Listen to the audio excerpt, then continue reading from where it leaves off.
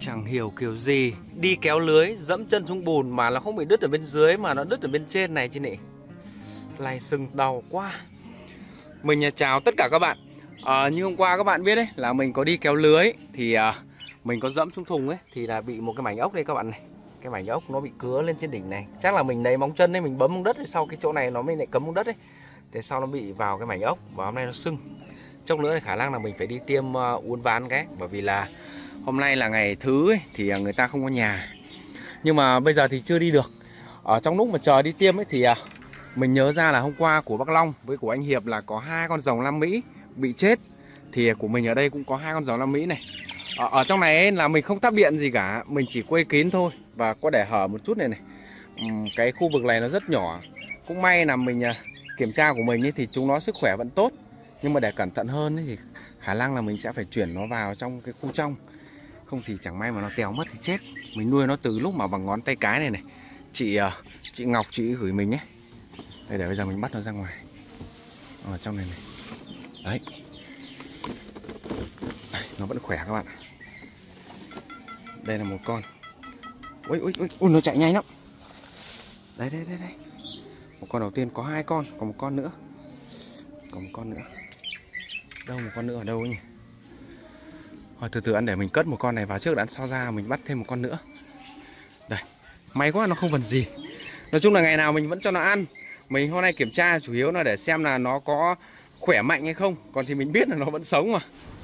Mình nuôi con gì thì mình gần như là một ngày mình phải kiểm tra ít nhất là hai lần, buổi sáng và buổi chiều đấy ít nhất còn nếu con nào mà bị ốm ấy thì là mình phải thăm suốt ngày luôn. Đấy, cho vào trong chuồng này thì yên tâm luôn. Ở trong này của mình nó kín gió cho nên là nó rất ấm. Quyên!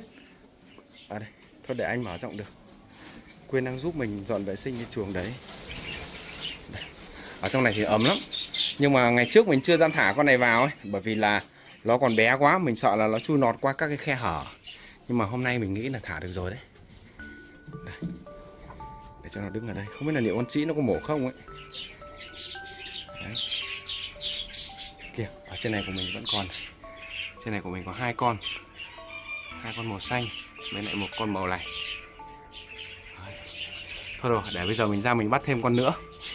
À, các bạn và anh chị bảo là sao quế không mua lấy đôi ủng hoặc là một cái bộ quần ủng để, để mà đi ấy, thì là dẫm xuống đất bùn nó sẽ không bị uh, đứt chân. Có anh chị bảo nhiều uh, quế cũng có biết ấy. Thế nhưng mà vì chân mình to quá đi dép nó còn không vừa ấy. Thế đi ủng chả đôi nào ủng nào vừa cả các bạn ạ. Đi ủng mà muốn vừa ấy, thì là mình phải chọn một đôi ủng cũ của ai đi rồi Thì là nó mới to đi vừa.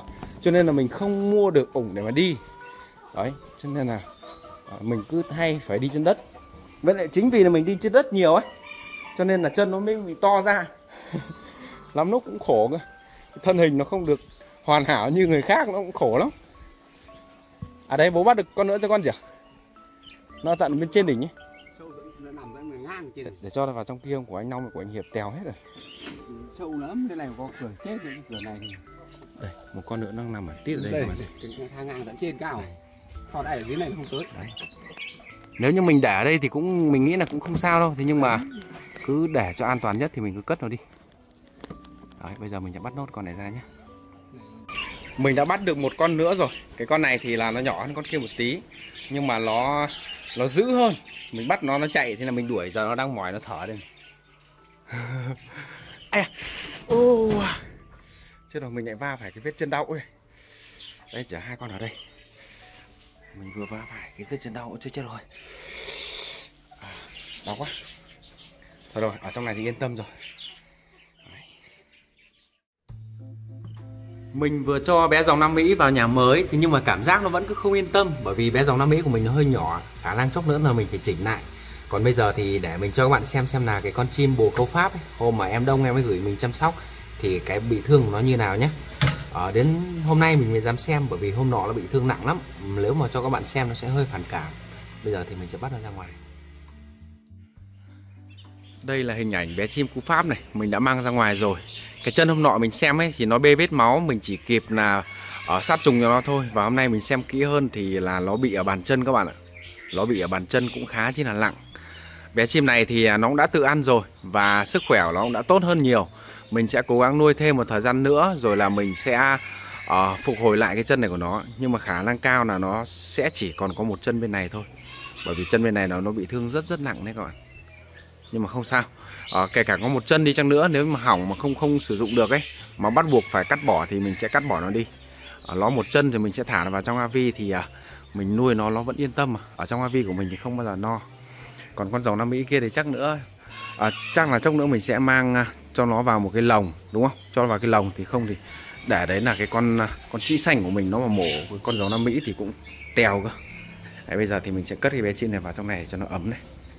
Đấy à thời gian vừa rồi ấy, thì à, mình cũng có sửa lại khu vực nhà để xe đấy các bạn.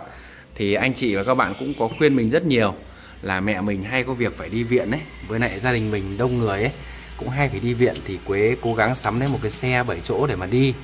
Thì à, bây giờ là mình cũng sửa nhà để xe. Trước tiên là để xe của gia đình trước đã. À, sau đó nếu mà có dư giả hơn ấy thì mình sẽ mua một chiếc xe 7 chỗ. Thì à, nhà để xe mình đã sửa xong rồi các bạn ạ. Bây giờ thì à, mình ra cho các bạn xem nhé. Cậu cậu đi đâu về đây vâng đây là cái điều khiển của cái cửa cuốn nhà mình này. Để bây giờ mình cho cái cửa cuốn lên. À, nói thật với lại à, mọi người các bạn anh chị và cô dì chú bác là mình đã mua xe rồi. Nhưng mà xe mình ấy mình mới lấy về được có một hôm thôi thì sau lại phải đánh lên hãng luôn. Bởi vì là xe mình chưa làm xong cái thủ tục giấy tờ đăng ký ấy. Mình cũng định là sẽ báo mọi người sau. Nếu như mọi người mà biết nhiều ấy, thì mình sẽ báo sau. Còn thì uh, uh, mình chưa muốn báo sớm bởi vì là báo sớm ấy nó cũng có những cái vấn đề nó xảy ra. Thứ nhất là xe của mình là giấy tờ chưa xong này chưa đăng ký được ấy. Với lại thứ hai nữa là um, gì nhỉ? Khi mà mình đăng lên ấy mình đọc sợ rằng là một số các bạn và mọi người lại bảo mình bảo là khoe khoang. Cho nên là nếu như ai yêu quý mình thực sự ấy, quan tâm mình thực sự thì uh, xem ở trên mạng xã hội và ở trên trang cá nhân của mình ấy thì mọi người cũng đã biết là mình đã mua xe rồi. Nhưng chỉ có cái là chưa về thôi còn đây là cái con xe cũ của mình này. Đấy. Con xe cũ này thì là mình mua là 71 triệu các bạn ạ. Thì à, nó tã lắm. Mình phải sửa đi sửa lại biết bao nhiêu lần rồi. Và vừa rồi đây mình còn phải đi sơn lại này. Bởi vì là nó vỡ hết các cái rìa này ấy, phải đi sơn lại. Thế nhưng mà có cái này thì à, nó cũng không sửa được. Cái này muốn sửa được thì đây, ví dụ như là ở đằng sau này, nó bị, tức là nó nó trông buồn cười lắm. Nói chung là cái xe này đi nó ồn ấy, mẹ mình say xe lắm thì à, lần này mình cố mình mua cái xe nó 7 chỗ nó to hơn. Đây các bạn này. Đấy. nó cũng hà rồ, nói chung là Xe này mình có nhưng mà mình có dám đi đâu xa đâu. Mình chỉ dám đi ở quanh quanh thôi. Xăm lốp nó không còn tốt đấy Đi nó sợ hỏng Thì mình chỉ dám đi quanh quanh nhà. Ví dụ có đi đâu thì mình lại phải thuê taxi các bạn ạ. Đó. Nhưng mà hôm nào mà xe của mình được ấy, Thì là mình lấy về mình sẽ báo với mọi người sau à, Mình cũng muốn báo bởi vì là à, Trong đầu mình luôn nghĩ rằng ấy Cái à, cái công việc nhà mình đang làm này này Bất cứ những cái gì mà mình sắm sửa được Hoặc là mình có thì mình cũng phải lên báo cáo các bạn bởi vì mình coi các bạn và mọi người như là người thân của mình ấy. Cho nên là không bao giờ mình muốn giấu giếm. Thế nhưng mà mình chưa muốn báo ngay bởi vì là tránh tình trạng như một số mọi người lại nghĩ mình khoe khoang ấy. Thì đấy mình đã lấy được một con xe 7 chỗ rồi nhưng mà chưa về tới nhà các bạn nhé thì hôm nào về tới nhà thì mình sẽ cho các bạn xem. Bây giờ thì uh, chân đau mình không đi dép được đi dép nó đau ấy. Thì mình sẽ đưa các bạn lên một cái chỗ này. Cái chỗ này thì mình nghĩ là chắc cũng có nhiều bạn và em nhỏ biết đấy. Đây, bây giờ các bạn và mọi người cùng theo mình nhé để mình uh, nổ xe đi đã.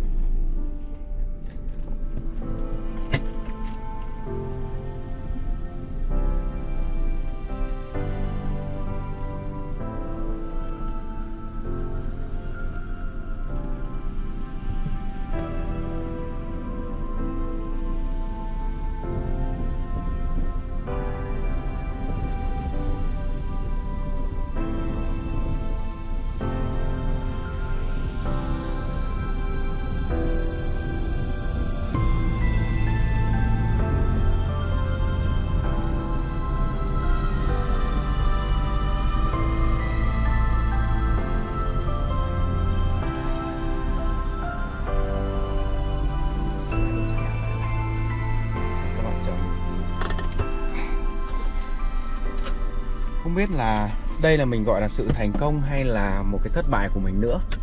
Thế nhưng mà đó cũng là một cái niềm vui mình à, lên chia sẻ với tất cả các bạn và mọi người. Bởi vì à, niềm vui của mình ấy, ôi, nó lại vỡ cái gì này. Niềm vui của mình thì à, cũng là niềm vui của những người mà yêu quý mình. Thì đây, cái miếng đất này. Các bạn và mọi người chắc vẫn nhớ nhỉ? Ngày trước mình có bảo là mình mua được một miếng đất này để sau mình có một cái dự án là sẽ xây một cái ngôi nhà để mà để các bé thú cưng ấy rồi mình nhận nuôi thêm những nhiều những bé mà nó bị uh, thương tật về mình nuôi ở trên này thì tách bạch hẳn ở dưới khu vực nhà mình đi. Đấy, thế nhưng mà các bạn và anh chị bảo là ở đây xa nhà mình quá quế chăm sóc nó khó ấy. một người mà ở hai nơi thì cả ra nó cũng bất cập. Thế là mình cũng đắn đo suy nghĩ suốt. Thì sau uh, có một thời gian thì kiểu là đất nó cũng lên giá đấy các bạn. Thì bây giờ mình mua miếng này là mình tích góp bao nhiêu năm trời ấy thì uh, mình mua được miếng đất này là 800 triệu 800 triệu sau vừa rồi nó lên giá ấy, thì ờ, người ta giả mình được uh, đến 1 tỷ các bạn ạ. Người ta giả thì mình đến đến 1 tỷ. Thì sau uh, người ta cứ mời chào mãi thì sau cuối cùng là mình quyết định là bán đi. Bán đi và mình uh, dùng 1 tỷ đó cộng với lại uh, vay mượn anh em thêm. Với lại nhà mình cũng tích được thêm một chút nữa thì là mình đã lấy con xe 7 chỗ. Thì bây giờ con xe này là nó tuy là xe cũ, thế nhưng mà mình cũng đã sửa sang hết rồi. Sửa sang hết rồi. Bây giờ là chỉ việc đi thôi. Nó hơi sốc, hơi ồn một chút. Đi xa thì không nói, thế nhưng mà đi gần thì cũng được. Mình sẽ quyết định là cho em gái mình, tức là cho quyên đấy các bạn. Quyên cũng phụ giúp mình rất nhiều những cái công việc hàng ngày. Những lúc nào rảnh thì quyên lại ra, quyên giúp mình dọn dẹp những cái khu vực chuồng nào mà nó to ấy. Những cái chuồng to mà một mình mình không làm hết, bố mẹ không làm hết thì quyên lại ra giúp mình. Đó à, anh em ở trong gia đình mình ấy thì mình cũng có giúp đỡ. Và cũng có một số các bạn bảo là anh Quế giúp đỡ anh Hiệp này em Nhân này anh Long này. Nhưng mà chưa bao giờ thấy anh Quế giúp đỡ em Quyên. À, em Quyên là em ruột của mình nhé các bạn. À, mình sống thì nói chung là mình đều quan tâm tới tất cả các anh em trong gia đình dù là à, xa hay gần chỉ cần là thân thiết với mình thôi mình đều quan tâm. Những lúc mình khó khăn anh em giúp đỡ mình và những lúc mà mình à, không còn khó khăn nhiều nữa thì mình có thể là giúp đỡ được anh em. Thì con xe này mình quyết định là sẽ cho Quyên nhé.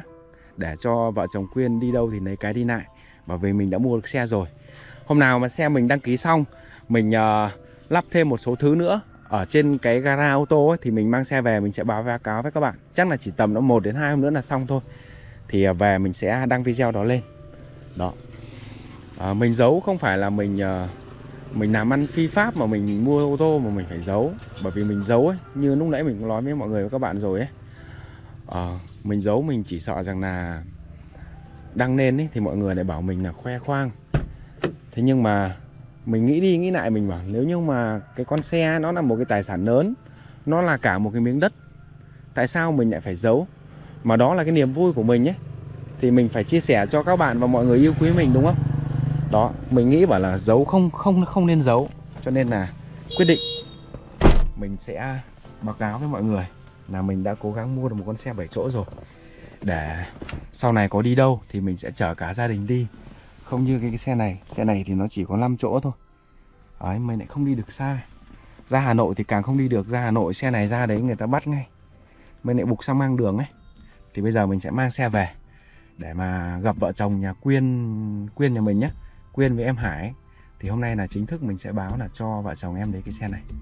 Đấy dù cũ dù nó không có được ngon thế nhưng mà cũng là cái che mưa che nắng các bạn ạ.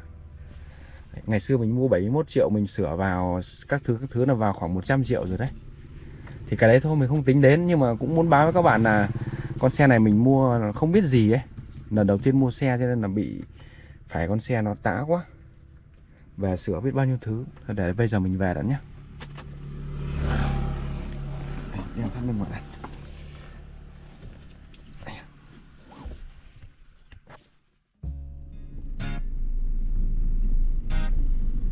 ơ hải. Hải đã bên đây uh, đi đón con à?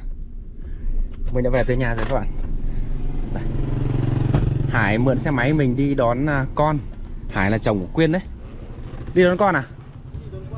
Ờ ở đây anh bảo cái này kìa ở đây để anh tắt xe quên mất chưa tắt. Ở đây anh bảo cái này. Chào Tún thanh niên Tún idol Tún à? Đây để xem Quyên đâu nào. Quyên ơi! Đâu đây?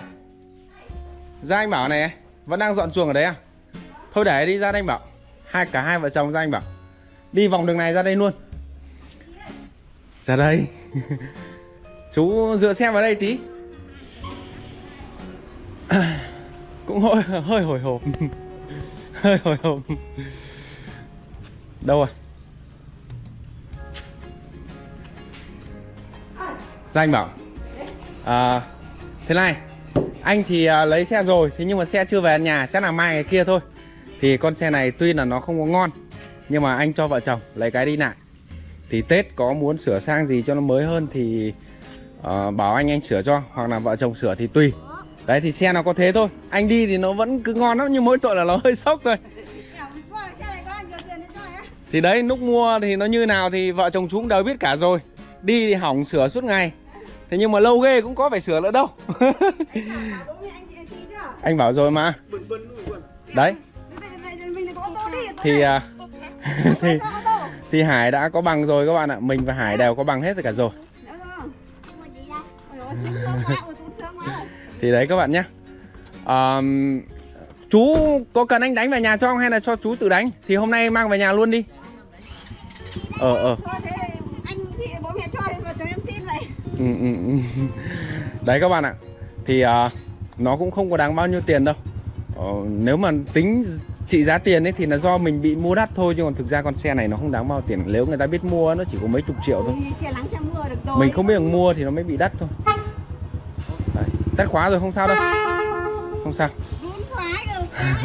Thôi bây giờ thì à, à, chắc là cũng đến giờ các bác sĩ về rồi đấy. Hôm nay là ngày thứ thì các bác sĩ đi làm ở ở trên viện đấy thì chiều tối mới về nhà để để bán thuốc ở nhà. Thì bây giờ mình lên bác sĩ mình tiêm phòng uốn ván cái ngón chân rồi nhá. Không chẳng may nó bị nhiễm trùng uốn ván. Thì để hôm nào cái video mà mình lấy xe về và xe của mình xong xuôi mình lấy về thì mình sẽ quay tiếp cho bạn xem nhé rồi bây giờ thì cảm ơn tất cả các bạn và hẹn lại các bạn ở trong những video sau. ai đờ tún tóc tốt rồi cắt đi. Hôm nào cắt cho cả chị Ngọc Mai nữa. Hai khoái này hai khoái này. Một hai. chân bắt đầu bác đi tiêm giờ đây. Đi tiêm chân